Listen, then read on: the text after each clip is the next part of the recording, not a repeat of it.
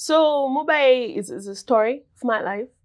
I I'm I'm, I'm such a lover. Um, I had friends, uh, really good friends of mine. Like they were, the other one was like my sister. The other one was like a brother to me, and we we started together when we had nothing. You know, they were there when we were building stuff together. We trying to get some food, trying to uh, create this, the, the the clothing brand, and trying to sing, trying to come up with a band, you know, and you know, just when things were starting to sort of take shape, things just went wrong, and and I I I, I wanted to understand where, where where did I go wrong, because such betrayal I, I I couldn't handle. I wanted to understand because you guys were family.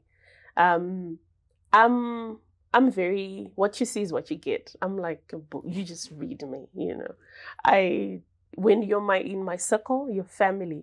If we're gonna quarrel, we're gonna quarrel, but we're not gonna break up. We're going to um, insult each other, and and tomorrow We're going to gonna- fight, but make up. We're gonna make up, Yeah. and we're gonna come back. That that's what family. I'm I'm very genuine when it comes to my relationships. So things just went wrong, and and they left, and I never got to really sit down and ask questions, like, well, what went wrong? What went wrong? what did I do? And was it because things were now beginning to take shape? Like, well, what happened? You know, so yeah, Mubayei was about them. Mm. So so so that's the story because I've seen the video. Yeah. Um, they're chasing you in the grass with knives and uh, knobkerries, and and and you can tell what the story is all about.